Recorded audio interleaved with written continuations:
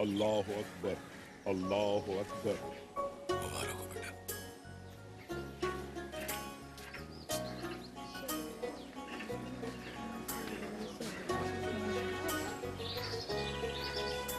अब सबसे ज़रूरी काम कहीं रह ना जाए। बाबा कौन सा काम? पापा हाँ हाँ बेटा आने दो। अस्सलाम वालेकुम अस्सलाम वालेकुम। ये तो बच्चों को पहले भी मिलवा दिए थे। बेटा ये पोलियो के दो कतरे एक बार नहीं हर बार लाजमी है। पाँच साल की उम्र तक के हर बच्चे को। खास तौर पे नन्ही सी जान को। हाँ हाँ बिल्कुल।